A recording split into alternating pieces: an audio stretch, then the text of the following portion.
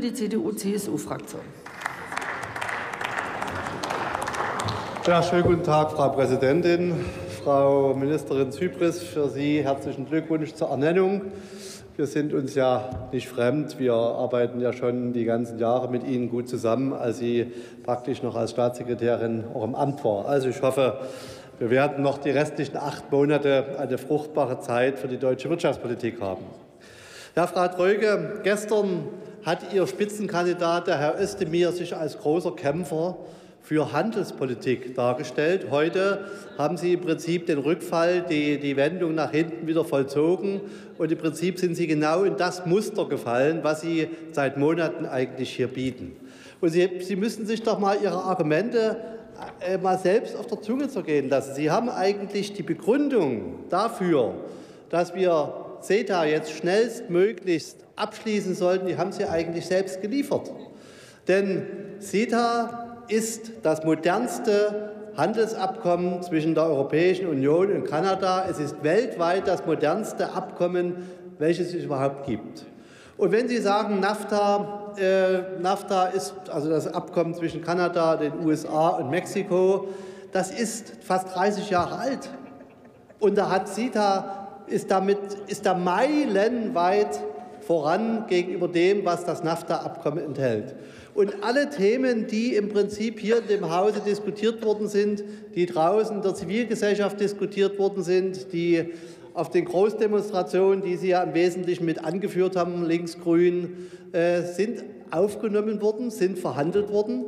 Und der Wirtschaftsminister hat, ich glaube, misstrauisch beäugt von den anderen europäischen Partnern, denn es ist ja kein deutsches Abkommen es ist ja ein europäisches Abkommen, hat der Wirtschaftsminister viele Dinge noch durchsetzen können, die man vor einem Dreivierteljahr vielleicht überhaupt nicht erkennen konnte. Also ich kann Ihre Kritik überhaupt nicht verstehen. Im Gegenteil, wenn Sie sagen, wir brauchen ein modernes Abkommen, heißt das jetzt in Kraft setzen. Und das hat vor allem auch einen enorm hohen symbolischen Wert, dass wir in dieser Zeit, die Sie ja auch beschrieben haben, mit einem US-Präsident, der sozusagen Handelsabkommen mit dem Federstrich beendet und seine ganzen Partner äh, ohne Probleme vor den Kopf stößt. Genau in dieser Zeit ist es doch wichtig, dass wir uns bekennen zu einem Handel zu fairen Konditionen, genau wie Sie es gesagt haben. Und da ist CETA die beste Basis dafür. Und vor allen Dingen zeigt es eben, dass Europa auch handlungsfähig ist, meine Damen und Herren. Und ich will mal so sagen, Sie verwechseln immer oder Sie sagen auch nie, dass die Diskussion in anderen europäischen Ländern ganz anders verläuft.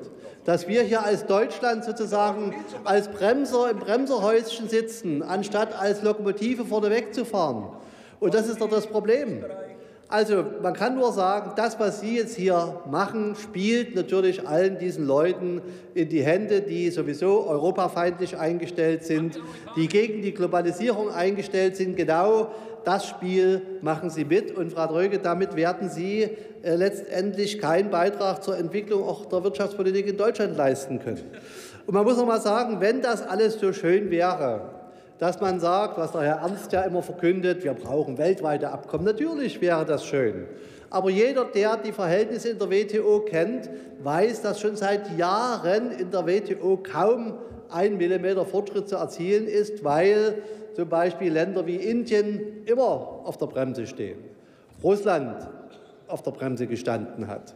Und wenn man eben kein weltweites Abkommen zustande kriegt, in, dem, in, der Art und Weise, wie wir uns das vorstellen, als ein modernes Abkommen, dann müssen wir eben versuchen, über bilaterale Abkommen erstmal einen Schritt weiterzukommen. Das Zweite, das hatte ich auch gestern schon gesagt, hier äh, vor dem Plenum, es läuft im Moment der G20-Prozess. Deutschland hat die Präsidentschaft für die G20.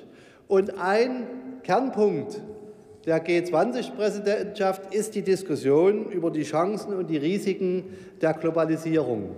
Und auch genau dieser Punkt passt sozusagen genau ins Bild, denn äh, man weiß ja überhaupt gar nicht, was Herr Trump eigentlich bewegt oder was er vorhat.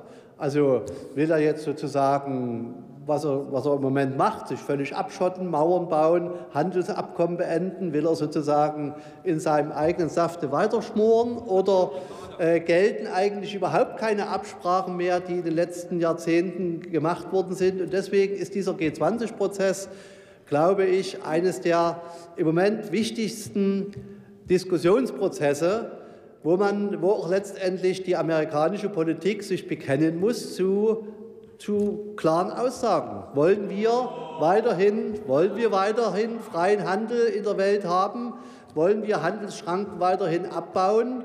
Wollen wir zu modernen Handelsabkommen kommen, damit die Globalisierung im Prinzip den, oder die, den Wohlstandszuwachs der letzten Jahrzehnte, dass der auch in der Welt weitergehen kann? Das sind doch die grundsätzlichen Fragen. Und deswegen kann ich nur sagen, die Gerichte in Deutschland haben erst mal entschieden. Das haben die Anträge der Linken, die, auch die Eilanträge abgewiesen. Das heißt, der Weg ist jetzt erst mal frei. Dann muss das Ratifizierungsgesetz eingebracht werden und innerhalb dieses Ratifizierungsprozesses haben wir noch so viele Stunden Zeit, über all die Dinge zu diskutieren. Die Linken werden den 150. Antrag schreiben, der ja immer gleich ist. Gibt auch, es gab ja auch kein, es gab auch kein einziges neues Argument von Ihnen, Herr Ernst. Es ist so, das, was Sie seit fünf Jahren hier erzählen, führen Sie nur weiter. Und wenn, wenn man sich Ihren Antrag mal anguckt, da steht immer nur können, können, können, können, möglicherweise können, können, können. Also es ist im Prinzip auch nur ein können, können, können Antrag. Aber Sie können es eben nicht richtig. Das ist das Problem. Und deswegen, äh, deswegen muss man sagen, die Dinge, die substanziell, die Dinge, die substanziell waren in der politischen Diskussion zu CETA, sind aufgenommen worden. Vieles ist untergebracht worden in dem Abkommen und insofern kann ich nur darauf verweisen, im Ratifizierungsprozess können wir uns lange genug wieder darüber unterhalten. Ich finde Ihren Antrag, der war heute überflüssig und wir werden natürlich auch dem Antrag nicht zustimmen können. Vielen Dank. Vielen Dank, Andreas Lemmel. Nächster Redner Hans-Jörg Dohr.